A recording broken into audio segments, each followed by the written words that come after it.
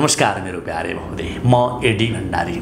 आजको विषयवस्तु नवरात्रको समयमा यी कार्य गरे तपाईँलाई रोग र दोष लाग्दैन।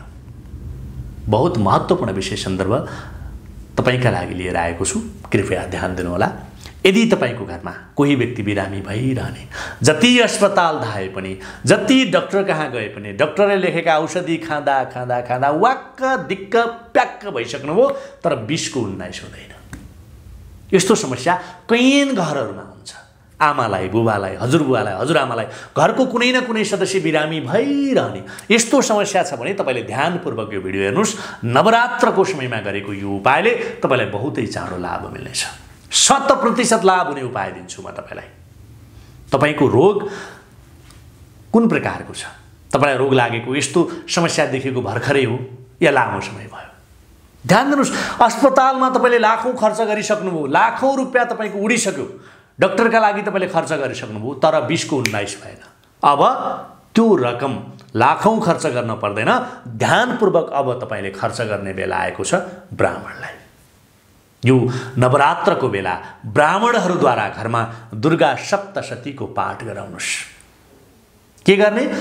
नवरात्रको समयमा घरमा दुर्गा सप्तशतीको पाठ गराउनुहोस्। नवरात्र भनेको साधना र उपासनाको पर्व हो। यो दुर्गोत्सव भनेको साधना र उपासनाको चाड हो।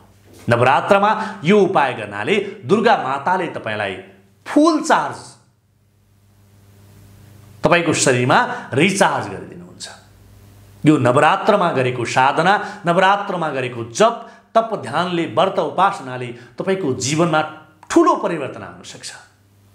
सप्तमीको दिन तपाईँले नुन बिनाको भोजन गर्नुहोस्। मिठो भोजन तपाईँले गर्नु जरुरी छ। मिठो भोजन भनेको गुलियो भोजन तपाईँले गर्न सक्नुहुन्छ तर नुनको भोजन कृपया सप्तमीको दिन नगर्नुहोला। एउटा कुरा है। पूर्ण विश्वास र पूर्ण निष्ठताका साथ गर्नुपर्छ फेरि ए फलानाले भनेको छ गरिदिउँ त भनेर यो फल मिल्छ म जान्दिनँ। तपाईँले वरको रुखको एक सय आठ पटकको परिक्रमा गर्नु सप्तमीको दिन। सूर्य भगवान्लाई नियमित रूपले पूजा गर्नुहोस् नवरात्रभरि। अर्घ दिनुहोस् र भोगमा थोरै गुणको भोग चढाउनुहोस्।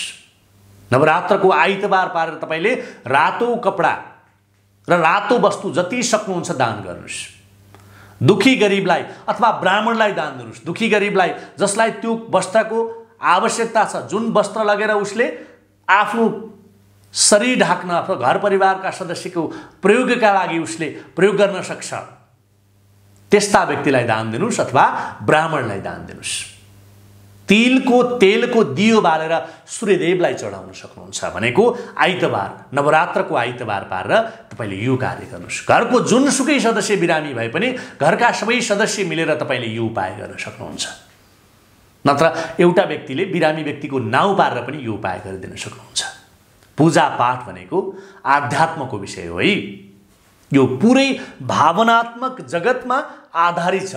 यदि मैले आफ्नो भावनाले आफ्नो परिवारका लागि माता पिताको लागि हजुरबुवा हरि हजुरआमाका लागि श्रीमान श्रीमतीका लागि छोराछोरीको लागि कसैका लागि कुनै पूजापाठको सङ्कल्प अनुष्ठान गर्नुहुन्छ भने त्यसको फाइदा निश्चिन्त प्राप्त हुन्छ। तपाईँ कुनै पनि दुविधामा रहन पर्दै पर्दैन। तर त्यो आध्यात्म पूर्ण विश्वास र निष्ठताका साथ आउनु पऱ्यो अन्तस्करणबाटै आउनु पऱ्यो तन मन वचनको शुद्धता हुनु पऱ्यो त्यसैले तपाईँले आफ्नो नजिकको आफ्नो मान्छे कुनै खराब स्थितिमा गुज्रिएको छ रोगले ग्रस्त छ भने तपाईँले यो नवरात्रको समय पाएर यी कार्यहरू गर्नुहोस्। एकदमै छिटो तपाईँलाई फाइदा देखिनेछ। सानो सानो उपाय तर चमत्कारिक प्रभावशाली उपाय हो। तपाईँले पूर्ण निष्ठतापूर्वक गर्न सक्नुभयो भने तपाईँको जीवनमा चमत्कारिक लाभ हुनेछ। तपाईँले नवरात्रमा मात्र नभएर तपाईँले कहिल्यै पनि बिस्तारामा बसेर भोजन चाहिँ नगर्नु होला है। नवरात्रमा त तपाईँ बिरामी नै भए पनि तपाईँले कृपया भुलेर पनि आफ्नो बिस्तारामा बसेर अथवा कसैको बिस्तारामा बसेर भोजन नगर्नुहोला यदि तपाईँले यो समयमा ओछ्यान बिस्तारामा बसेर भोजन गर्नुभयो भने दुर्गा माताको कृपा त तपाईँलाई प्राप्त हुँदैन हुँदैन। साथसाथै तपाईँको शुक्र राहु पनि खराब हुन्छ। राहु नै मूल कारण हो रोगको। जहाँ तपाईँको भोजन बन्छ त्यहीँ बसेर भोजन गर्नुहोस्। यसले तपाईँको राहु शान्त हुन्छ। भान्सा कोठामै गर्ने हो भोजन। सकेसम्म भोजन गर्दा पलेटी कसेर अहिलेको पुस्ताहरूलाई फेरि ए उहिले जमानाका रूढी कुरा गर्छ भन्ने लाग्ला। भोजन सकेसम्म पलेटी कसेर खाली खुट्टाले जमिन छोएर गर्नु राम्रो मानिन्छ। एउटा अचुक उपाय बताइहाल्छु तपाईँलाई ध्यान दिनु होला तपाईँले सात प्रकारका अन्न जम्मा गर्नुहोस्। त्यसको मात्रा कम्तीमा पनि एक केजी होस् है। सात प्रकारका अन्नहरू के के हुन्छ? गहुँ धान मकै के के तपाईँ जुटाउन सक्नुहुन्छ? ती अन्नहरू सात प्रकारका जम्मा गर्नुहोस्। त्यो कम्तीमा पनि एक केजी हुनु पऱ्यो शनिबार मङ्गलबार वा बुधबार तपाईँलाई अनुकूल हुने कुनै एउटा बार अथवा समय छुट्याउनुहोस् र कुनै मठ मन्दिर वा खाली चौर जहाँ चराचुरुङ्गी धेरै छन्। त्यो ठाउँ। मठ मन्दिरमा चराचुरुङ्गी धेरै देखिन्छन् अथवा कुनै खाली चौरमा तपाईँले देख्न सक्नुहुन्छ त्यस्तो ठाउँ चयन गर्नुहोस्। त्यहाँ गएर यी सात प्रकारका अन्न सबै चराचुरुङ्गीलाई खुवाइदिनुहोस्। यो रोग शारीरिक पीडाको सरल उपाय मानिन्छ। रोग निदानको उपाय मानिन्छ। रोग निर्मूल गर्छ यस्तो कार्य गर्नाले। अब सक्नुहुन्छ भने जो बिरामी छ त्यही व्यक्तिले गर्दा अझ राम्रो। सक्नुहुन्न भने त्यो बिरामीको नाम पारेर अरूले गरिदिँदा पनि हुन्छ। है। अर्को उपाय छ। नवरात्रको सप्तमीको दिन तपाईँले गर्नु होला यो उपाय। है एउटा तामाको भाँडोमा भरि पानी राखेर खष्टी भनेको सप्तमीको अघिल्लो दिनको राति सिरानी नजिकै राखेर सुत्नुहोस् र सप्तमीको दिन बिहानै त्यो पानी लगेर कुनै बोटो वृक्षमा राखिदिनुहोस्। नवरात्रको खष्टी तिथिको दिन राति तपाईँले सिरानी नजिकै के गर्नुहोस्? तामाको भाँडोमा भरि पानी राखेर सुत्नुहोस् र सप्तमीको दिन बिहानै उठेर त्यो पानी अरू ठाउँमा कहीँ प्रयोग नगरिकन कुनै बोट वृक्षमा लगेर खनाइदिनुहोस् ध्यान दिनुहोला त्यो पानी तपाईँले तुलसी पिपल केरा जस्ता बिरुवामा चाहिँ हाल्न पाउनुहुन्न। है तपाईँले तुलसी केरा पिपल जस्ता बोट वृक्षमा हाल्नुभयो भने त्यसले फेरि तपाईँलाई अर्को सङ्कट निम्ति आउन सक्छ। अरू कुनै बोट वृक्षमा तपाईँले हालिदिनुहोस्। यति कार्यहरू गर्नुभयो भने तपाईँलाई धेरै प्रकारको अचुक लाभ हुनेछ। निश्चिन्त गर्नुहोस्। पूर्ण आत्मविश्वासका साथ नवरात्रको समयमा गर्नुहोस्। नवरात्रमा नवदुर्गाको पूजा गर्छौँ हामी। दुर्गा भवानीको पूजा गर्छौँ।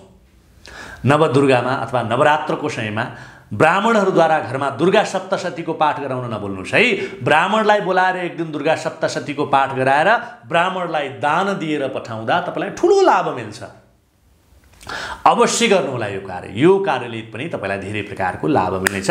नवरात्रको समयमा यी कार्यहरू गर्न मैले किन भनिरहेको छु भने कुनै व्यक्तिलाई पनि कुनै घर परिवारमा रोगसँग लड्न सक्ने ऊर्जा मिलोस् रोगी व्यक्तिलाई रोगमुक्त होस् भन्नका लागि यो भिडियो निर्माण गरेको सकारात्मक सोच पूर्ण आत्मविश्वास र आध्यात्मप्रतिको पूर्ण निष्ठता र पूर्ण विश्वास सही छ भने तपाईँमा अवश्य पनि यस विषय अथवा यो भिडियोमा गरेका सन्दर्भले लाभ जरुर मिल्नेछ। ल त यस वर्षको नवरात्रको तपाईँलाई अपार शुभकामनाका शब्दगुच्छाहरू अर्पण गर्दै तपाईँको जीवनमा माता दुर्गाको अनुकम्पा र शुभाशिष प्राप्त भइरहोस् भन्ने शुभकामनाका शब्द पुष्पहरू राख्दै भिडियोलाई यतै बिट मार्ने अनुमति माग्छु। जय दुर्गा भवानी।